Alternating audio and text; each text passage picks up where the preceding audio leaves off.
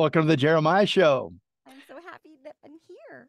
Oh, well, you weren't supposed to say anything yet. You're jumping oh, in already. Oh, I have to embarrass you a little. you you were so personable. I, I thought it started already. Sorry. Okay. yeah, you thought I was talking to you already. I am Yes. only speaking That's to you. That's how your audience feels. Like he's talking to me. Oh, um, she's the girl with three names, but only one golden voice, the honey syrupy voice of an angel, a voice that makes me think of hot, sweltering summer nights on the bank of the river with chickadees as uh, uh, uh, cicadas. I should let me do that again.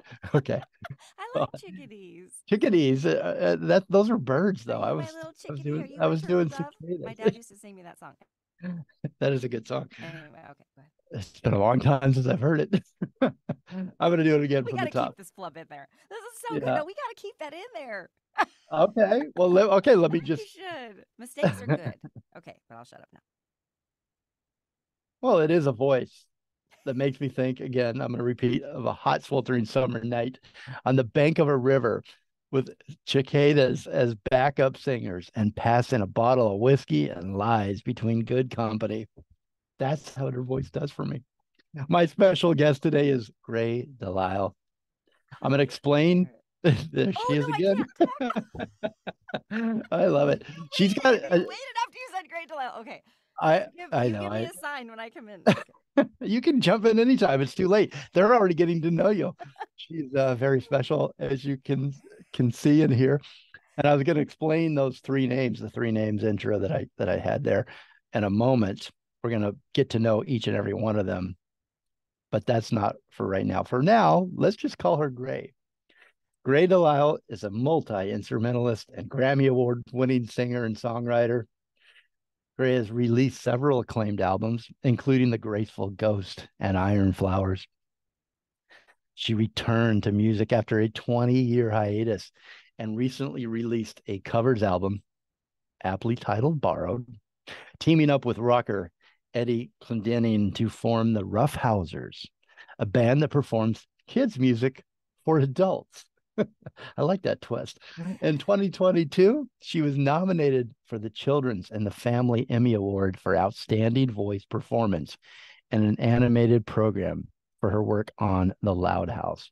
Welcome, Grey. Now you can come in. I can talk now. See, I was still quiet. I was like, "Is it my turn yet?"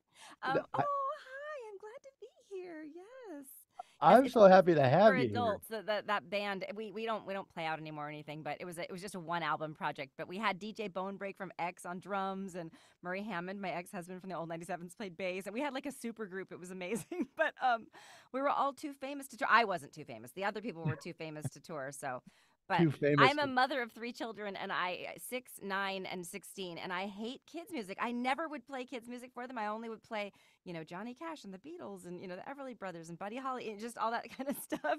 Bo Diddley, and um, and so they all have great music taste, and I think it's because of that. So I wanted to make a record that that sounded like things that sounded like that that they could. We Yeah. did like. You know, anyway, people can look up the Roughhousers if they want. But is it for adults or is it for kids or it's it for kids, everybody? It's, it's for adults to to not want to kill themselves after they're Right, right. like Uh, like all for the, everyone. Yeah, it's for everyone. I don't have any kids, but my my friends all com- like when I see them, they're they get out of their cars. You know, when we go meet up for some for a dinner or something, they get out of their cars and they're like steam coming out of their ears, and they're like, if I hear Dora the Explorer one more Oh. time, or if I hear uh ice, is it ice? No, Frozen. Fro- oh, Frozen. I hear was the Frozen Frozen soundtrack. too, and I do Dora, so I know what of what you speak. Yes, but it pays the bills, you know. Dora. Do I you do Dora the- are Dora. you She's Dora the Explorer? yes. Are I you play- really? Well, I'm not sure if my my I, I'm on the new one. They're doing a new one for Nickelodeon. I'm not sure if it's been announced yet, but it's fine. They I was going to tell you about the character, but then I thought like I think I might have signed an NDA, so I better not do that. But I'm going to be on it. That's incredible. Uh, what have you? Well, see, I don't- I don't want to give that away yet because it's your music is what Oh, attracted me first to you, and then I found, and then I I opened the world, your world, and there's a lot in that world that you're that you do and that who you are. I, I just released Crazy. a stand-up special. Don't Yeah. give away all my secrets yet, because we're gonna get to. Sorry. we won't we won't we're only getting to know one of the Greys right oh, now. one of the greys. Okay, this is the Yes. music great. Okay, so what was your given name at birth? Erin Grey Van Oosbree, which is a Dutch name. So when I toured in Holland, they went, they loved it. They loved that I was Dutch. It was so funny. I've never been so popular for being Dutch, except for in Holland. They have a lot of national pride.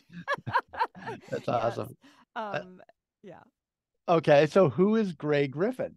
Well, I've been married a lot here, Jeremiah. So I've, I've been, Oh, I, got thought they were married- character no, names. I got married at, at 19 to a to Delisle, and so I kept that name. And then I and then I married a I married Ha- Murry Hammond from the old 97s. We're still dear dear friends. That's our my oldest son is is with him, and he's we're all just we we're just going to see. He's playing with the Long Ryders right now, so my son and I are leaving for Spain on Saturday. My oldest and I are going to go do a little groupie tour. We're gonna like be follow the the Long Ryders around Spain a little bit and see some museums in the meantime. But So is your I- oldest son the artist that yes, that we the see? artist. Who, So if you watch the YouTube version of this interview, you'll see this Yes, his art's incredible art. Yes, he loves Picasso too. So we're gonna give see it. a lot So give him a plug. What's his? Yes, is his Instagram is Tex Hammond, T E X H A M M O N D, and he's a rising star in the art world. It's amazing. He's he's done like his seventh gallery show, and he's he's moving to New York next year, and he's in all kinds of magazines, and he's got limited edition posters with really reputable printing presses, and the, the art world's a whole thing I'm learning about. But anyway, I could talk about him all day. I love him so much. Yeah. Um, well, back yeah, to your Then I your married various. a Griffin. I married Okay. a Griffin, and then I and he really wanted me to change my name, even though I was like, "But I've built this whole career as Delisle." But he really so then I did that, and then I then that didn't work out. So I'm a I have a lots to write country songs about, though I have to say my marriages have not worked out, but I've got lots of material. you do and and you do Yeah. it so well like i said in the beginning you made me feel when i listened to the music i'm going to tell real quickly uh our we have a mutual friend mark platt uh radio candy radio and radio candy media and he submits you know he puts out new music that he's hot on um, for the radio indie alliance and and just on for his radio stations and to let other people know and I probably get, you know, 20, 20 plus a day of mm-hmm. music submissions. And I feel so bad sometimes because I just cannot stop at what I'm doing and listen to the music the way, but I know, but I, oh, I feel like I owe those musicians that respect because they sent it to me. But yours came through from Mark Platt and just something about it. Just, I was drawn to the email. I opened it and I listened. I stopped what I was doing and I listened and immediately emailed Mark and I said, I, I'd love to have Grey on. Could you please Oh. introduce me? That's what every musician wants to hear. well, you have to you have to catch them with the cover and everything. Like I just somebody's putting out a limited edition uh, seven inch vinyl of just a, a few demos that I did a long time ago, and I was like, sure. So, but they sent me the cover, and I was like, oh my gosh, this no, it looks like some. I said, is this AI? And then I thought, oh, and they're like, no, and I was like, oh gosh, I've offended someone. It just looked like a preschool, like it, it just looked like something that you would just like something that automatically fills in that you can like put your name here. It's a it's a Yeah. record cover, you know. And I was Yeah. like, no. And he's like, well, I thought I'd let the music speak for itself. And I was like, but uh, nobody's gonna let it speak for itself because no, I would never play that. If I saw that, I would just it would never ever get played. So it has to get played. You gotta get them in the boat. I always say, even with lyrics, when I'm writing a song, I'm like, they got to get in the boat, like line one, or else they're not getting in with you. They're gonna skip the song or play something else. But if but but if you get get them in the boat before you're gonna take them on a journey, if they're not in the boat, they're not going with you. So, Yeah, it's so true. yeah. So true. You've got that one shot, you know, and We're gonna need a and when they're- No. you know, I don't know. I don't even know if I saw the album cover though. Oh, I just okay. clicked on, you know, I like the title, but even that, I don't know what it wa- was. I What was just the title? drawn. What song was it? Do you remember? I y- yeah, I think it was the your you, a couple sing, singles ago. Such a great title. I want to make sure I get it right. oh, it was the Denver one. Was it? Yeah, I'll go back to Denver, and you can go to hell. But it wasn't even that because normally that might have I might have skipped that. You know, I might have been oh that's a little. I'm scared. oh my god, PTSD. No, my it's funny because my my bandmate Eddie Clendening, who's uh, had a storied, uh, wonderful music career for ages. He's he's been in bands since he was like 12 years old. But he he played Elvis on Broadway. He he originated the role of Elvis in Million Dollar Quartet, and he he's just got this Roy Orbison level voice. He's so great, and he writes he writes really great lines, but he, he has trouble like turning them into songs. But the lines are they get my brain just they're like a match to my brain, you know. So one night we were just he had his phone out. You know, we were like swapping lines. I was like, oh, I, this is a good line. I put in my phone. You know, you always have that notes section of your phone as a songwriter right. has all your lines in it. And he's like, what about this one? He's from Denver, and he's like, I'll go back to Denver and you can go to hell. And I knew that was from his divorce that he went through a while back. And I was like, yeah, I was wondering. oh. I'm like, who do I know from Denver? Why do they want me to go to hell?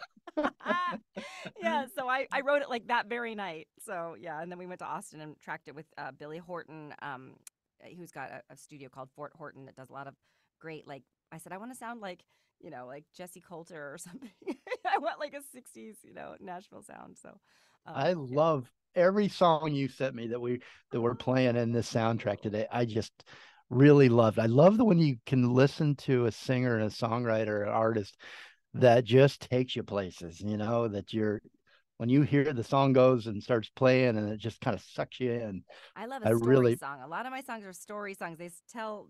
I'm not good at just you know like choruses and just like fun little snappy things. It has to, to take me someplace. It has to tell me tell a story, or else I get I have ADHD. So if, Yeah. I, if I'm not paying attention to a story, I can't stay focused on the song.